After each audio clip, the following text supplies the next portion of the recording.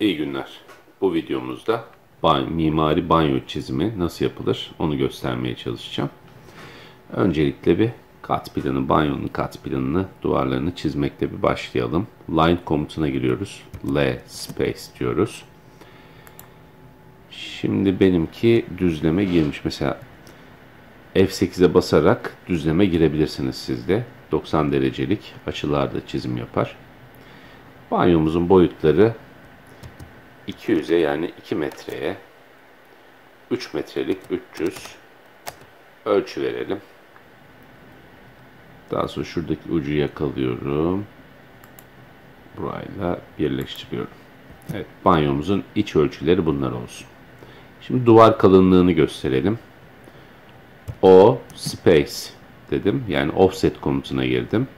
Herhangi bir noktaya tıkladım. Yukarı doğru çektim. Duvar kalınlığını 10 santim olarak vereyim. Dışarı doğru öteleyeceğim çizgiyi 10'ar santim. Evet. Space'e bastım ve komuttan çıktım. Şimdi buradaki köşeleri nasıl birleştireceğiz? Bunu fillet komutunu kullanacağız. Fillet'a bastığımızda bunun aynı zamanda pahta kırabiliyorsunuz. Mesela reduce'una bakalım 0. Sizin reduce'unuz şayet burada bir değer varsa bunu 0 yapmanız gerekiyor köşeleri tam birleştirebilmek için. Siz 0 değerini girin. Enter deyin. Daha sonra burayı seçiyorum ve diğer kenarı seçtiğim zaman gördüğünüz gibi birleştirdi. Bir daha Space'e basıyorum. Buraya, buraya tıklıyorum. Tekrar Space'e basıp komuta giriyorum. Yine köşeleri birleştiriyorum. Evet. Şimdi tevriş önemli. Buradaki vitrifiyeler ben daha önce çizmiştim ve bu kütüphaneyi de kullanıyorum devamlı. Tabi bazı mimari ölçülerin içerisinde kalacak şekilde tefrişinizi yapmanız lazım. Mesela bu duş teknesi. 90'ı 90'lık bir duş teknesi kullanıyorum ben. Mesela kabaca nasıl çizdiğimi hemen göstereyim size. Mesela line'a girdim. 90 santim aşağı. 90 santim sağa bir kare çizdim. Daha sonra offset. O space dedim. Herhangi bir yere tıkladım. Aşağı doğru çektim. 5 santim girdim. 5 santim içeri doğru öteliyorum. Öteledim. Kenarları TR space space dedim. Trim komutuna girdim. Kırpma komutu. Buraları kırpıyorum. Bakın buraları kırpıyorum. Bunu direkt rectangle aracımızla da yapabilirdik. Ben size diğer yöntemi, uzun yöntemi gösteriyorum. Daha sonra bu, buraların pahlarını oval bir şekilde kırmak istiyorum. Tekrar fillet komutuna giriyorum. Radius açıya tıklıyorum. Burayı 10 santimden kırsın. Buraya buraya tıkladığımızda bakın 10 santimden kırdı. Yani 10 santim dediğim şöyle göstereyim size. Burası bir kenar. 10 santim verdiğimiz değer şuradan ölçüye gelelim. Bakın burası 10 santim. 10 santim dediğimiz yer burası. Bunları tekrar temizleyelim. Tekrar fillet komutuna girip buradaki pahları da kıralım. Tekrar space burayı da kırdım. Tekrar space'e bastım komuta girdim fillet komutuna ve buradaki pahları da kırdım. Daha sonra da circle aracımı kullanarak bakın şöyle bir daire çiziyorum. Daha sonra offset diyorum. Şu 1 santim değer veriyorum. Bir daha circle'a girdim. Yine merkezini yakaladım. Oraya da vidasını gösteriyorum giderini. Evet, duş teknesi mesela bu şekilde çiziliyor. Lavaboyu, ondan sonra klozeti de bu şekilde çizebilirsiniz. Mesela klozetin ölçülerini ben rezervuarını 44 santim genişliğinde e, kenarını da 22 santim. Klozetin ana haznesini de e, uzunluğunu 47,5 genişliğini de 35 santim olarak veriyorum. Bu ortalama piyasada satılan vitrifiye ürünlerine yakın değerler. Lavaboya baktığımızda da yine genişliği 45,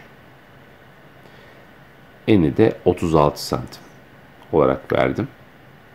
Bunlar da görünüş çizerken kullandığım tefrişler yine. Vitrifiye tefrişleri. Bunu ara musluk olarak kullanıyorum. Bu da tuvalet kağıtlı olarak kullandığım tefrişler. Evet biz şimdi buraya yaptık. Evet, duşumuzu nereye yerleştirelim? Şuradan duşumuzu alalım. Hazır duşumuzu copy dedim. Şuradan aldım. Buraya getirdim. Şuradaki ölçüleri silelim. Delete dedim seçtikten sonra. Tekrar tuşumu seçtim. Move komutu ile köşeden tuttum. Evet, banyomun köşesine yapıştırdım. Duşumu buraya koymayı tercih ettim. Daha sonra klozetimizi alalım. Fazla seçim yaptık. Klozetimizi aldık. Copy dedim. Buradaki yine tefriş elemanlarını kullanıyorum. Şuradaki ölçülerimi sileyim. Evet bunları sildim. Şurada bir parça daha kalmış. Klozetimi de şuraya yerleştirebilirim. Rotate ile döndüreyim. F8 komutunda olduğum için bakın 90 derecelik açılarda dönüyor. Evet. Bunu da tekrar seçtim. Move komutuyla aldım klozetimi buraya yerleştirdim. Lavabomuz kaldı. Lavabomuzu da alalım. Bunu da copy ile aldım yine. Şurada yine ölçülerini temizleyelim. Ölçüleri seçiyorum. Delete dediğim zaman sildi. Lavabomu nereye yerleştireyim? Lavabomu da buraya yerleştirebilirim. Evet bunu da rotate ile tekrar çevirdim. Tekrar seçtim. Move komutuyla lavabomu buraya yerleştirdim. Ara musluklarımızı da yerleştirelim klozetin olduğu yere. Taharet musluğu ve rezervuar ara musluğunu. Birini buraya aldım. Diğerinde tekrar buraya aldım.